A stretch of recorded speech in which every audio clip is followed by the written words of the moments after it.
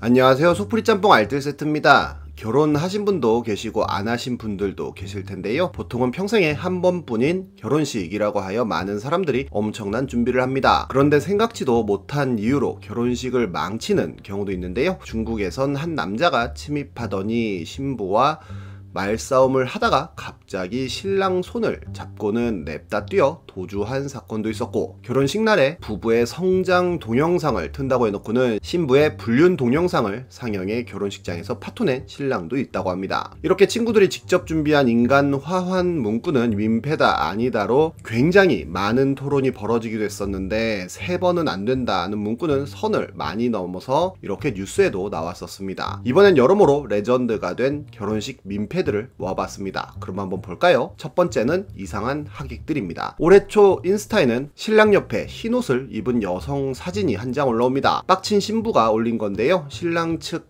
하객으로 친하지도 않지만 부모님 지인 관계로 초대받아 온 하객인데 사진사도 너무 이상하게 생각했지만 너무 당당히 서 있길래 차마 뒤로 빠지라는 소리도 못했다고 합니다. 결국 남편이 해당 민폐녀한테 항의도 했지만 본인은 베이지를 입었으며 옷 입는 건 본인 맘이라며 다음 결혼하면 검정 입을 테니 걱정 마라는 조롱 섞인 이야기도 했다는데요. 이 이미지가 어마어마하게 널리 퍼져나가자 신랑이 블라인드에 글을 올렸는데 가해자는 어머니 학창 시절 동창의 딸이며 본인이 다닌 대학의 선배기도 하여 어렸을 때부터 알고 지낸 사이인데 대학 선배로서 글쓴이에게 밥 몇 번 사주고 사업 이야기 몇 번 주고받은 게 전부인 관계라고도 합니다. 식장 입구에 해외에서 가족들과 함께 하객을 맞이할 땐 검정 코트를 입고 있었고 단체 사진 찍을 때 와서는 코트를 벗고 저렇게 찍었다고 하는데요. 거기엔 점집 마니아인 할머니한테 이 사진을 보여줬더니 배우자와 일찍 사별할 운을 가진 사람이 자기보다 먼저 결혼하는 타인의 결혼식에 일부러 신랑 신부처럼 차려입고 가서 그 사별운을 떠넘기는 거라고 했다며 이런 케이스도 있다더라는 이야기도 올라옵니다. 빡친 신부는 지속적으로 인스타에 해당 여성의 사진을 욕과 함께 올렸었는데요. 그런데 사람들은 해당 여성 회사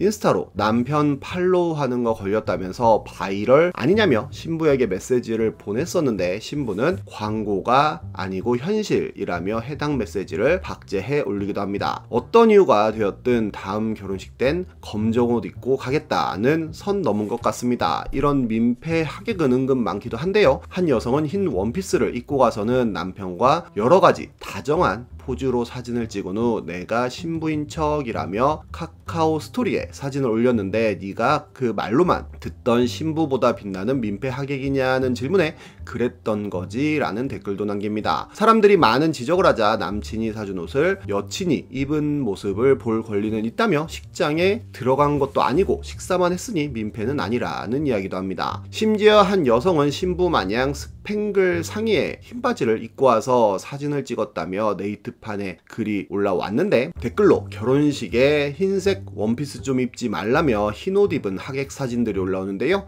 본인 지인은 커플이 흰 옷을 입고 왔다며 사진을 올린 분도 있었고 신랑 형의 공권녀는 이렇게 흰 옷을 입고 왔다가 결혼식 내내 오열하며 울면서 뛰쳐나갔다고도 합니다. 심지어 전 여친이 흰 옷을 입고 와서는 남편 바로 옆에서 사진을 찍었다고도 하는데 그 사진 을 보고는 와이프가 이혼하재라는 카톡을 남편이 보내니 내가 그날 흰옷 입었어? 라고 물어보더니 내가 안 그래도 갈까 말까 하다가 간 거였다는 이야기를 합니다. 결혼식 흰옷 하객이 민폐냐 아니냐에 대한 감론을박은 지금도 이어지고 있는데요. 드레스 코드란 게 있으니 맞춰야 한다는 사람들이 있는 반면 그게 그렇게 큰 상관이냐 축하해주는 마음이면 된다는 분들도 많은데 현영은 여러 매체에서 대놓고 이휘재를 짝사랑했었다는 이야기를 많이 했었습니다. 그리고 이휘재 의 결혼식 날 흰옷을 풀세팅으로 입고 왔었는데 하객 사진을 촬영할 때도 신부 바로 뒤에 자리를 잡아 민폐 이슈를 만들어냈었습니다. 그리고 현영 결혼식 때는 낸시랭이 이런 옷을 입고 왔었다고 하네요. 사람 사는 건 다 거기서 거기인지 해외에서도 며느리가 마음에 안 들면 시어머니가 이런 식으로 하얀 드레스를 입고 참석해 깽판을 치는 경우가 종종 있다고 합니다. 심지어 심지어 중국에선 전 남친 결혼식에 아예 흰색 드레스를 입고 난입한 전 여친들이 종종 나온다고 하는데 이 여성은 나도 신랑의 아이를 임신했다며 진짜 신부와 펀치를 주고받았다고 하는데요. 보통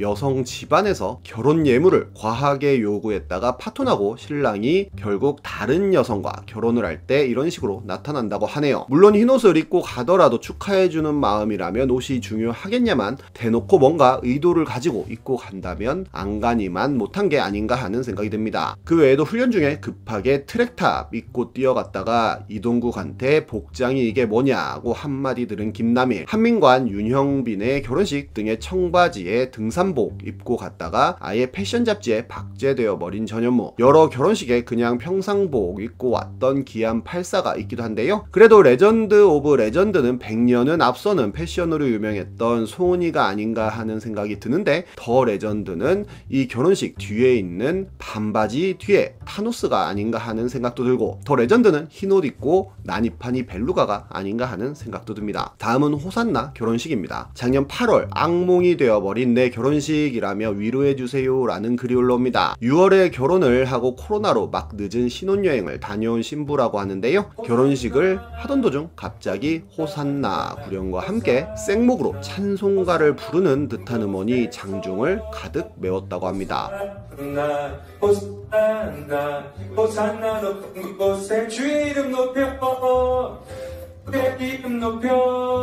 처음엔 누가 난입을 했나 사회자분이 장난치는 건가 생각했지만 2분이 지나도 찬송가는 계속되었고 호텔 측으로부터 어떤 안내도 못 받았다고 하는데요. 이렇게 혼선이 된 것 마냥 호산나가 끊겼다가 다시 나오는 게 반복되었습니다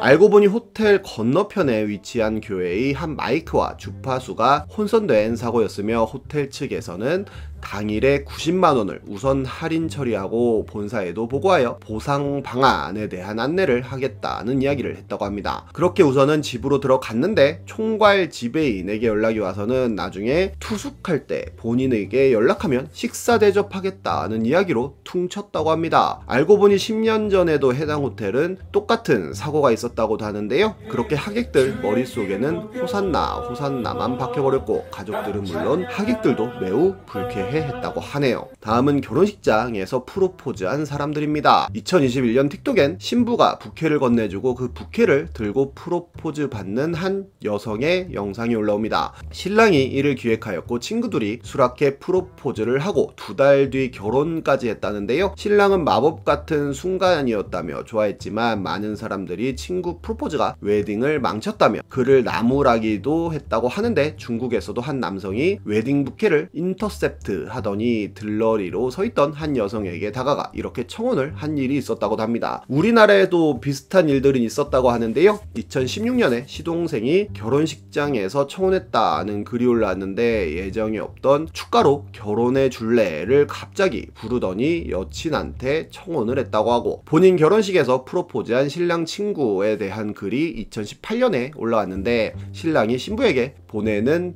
영상 편지. 도중 갑자기 처음 보는 사람이 영상 속에서 튀어나와서는 지 여친에게 프로포즈를 하더니 갑자기 뒤에서 여자친구를 데리고 튀어나와서는 청혼 자세로 반지를 껴주고 퇴장했다고 합니다. 남의 결혼식에서 프로포즈는 정말 상상하지도 못했었네요. 다음은 남의 결혼식에서 사진 찍은 커플입니다. 2017년 레몬 테라스 카페를 비롯한 여러 곳에 올라온 글인데요. 글쓴이는 복층 구조로 되어 있는 곳에서 결혼식을 했는데 2층엔 신부 대기실이 있고 2시식을 진행하고 있었고 다음 타임은 3시 반이었다고 합니다. 그런데 2시 15분쯤 축가 타임이 되었을 때 다음 타임 부부가 식장에 들어오더니 2층에서 사진을 찍었다고 하는데요. 하객들은 다 그 사람들 쳐다보고 어리둥절했지만 결혼식이 끝날 때까지 사진 작가와 사진을 계속 찍었다고 합니다. 결국 이렇게 글쓴이 식 사진에 그 사람들이 계속 나왔다고 하는데요. 식이 끝난 후 신부가 2시간 정도를 울면서 따졌고 손해배상을 해주겠다는 약속을 받았다고 하는데 신혼여행을 갔을 때 업체에선 합성하여 2층 지친 커플을 삭제한 사진을 보내주더니 사진 합성을 했으니 보상을 할 수가 없다는 이야기를 했다고 합니다. 심지어 해당 민폐 부부는